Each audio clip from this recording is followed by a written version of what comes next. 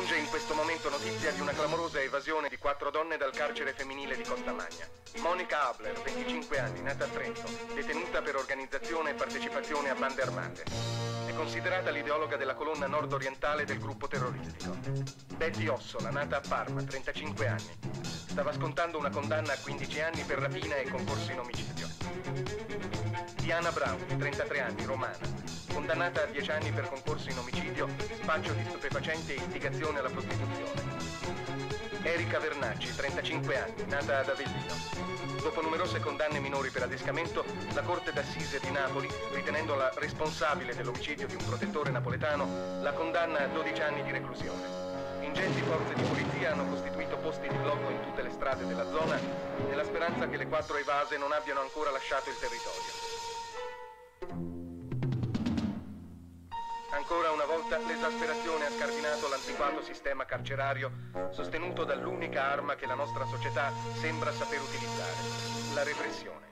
È nella promiscuità di celle per lo più vecchie di secoli, nel sesso umiliato da un'assurda astinenza, troppo spesso sostituita da una omosessualità che talvolta coinvolge anche chi dovrebbe prevenirla, che il seme delle evasioni germoglia e prende corpo.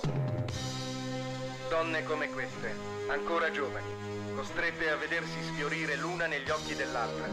Non possono che tentare l'impossibile per raggiungere almeno un'illusione di libertà.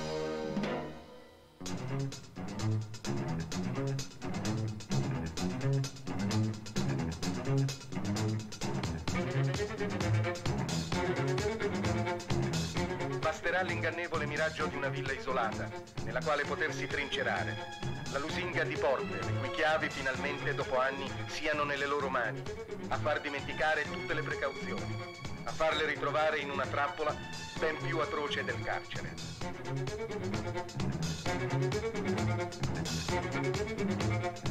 Liberi i sensi, col gusto delle armi ben salve in mano, con la possibilità di ricattare la giustizia, trasformandosi in spietate carceriere di ostaggi innocenti, vivranno ore febbrili una veglia di amore e di sangue.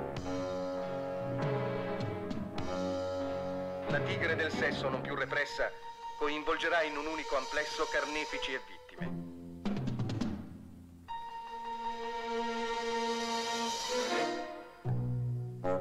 Le evase, un film rigorosamente aderente alla realtà, dove niente è stato esaltato e niente oscurato, ma semplicemente raccontato.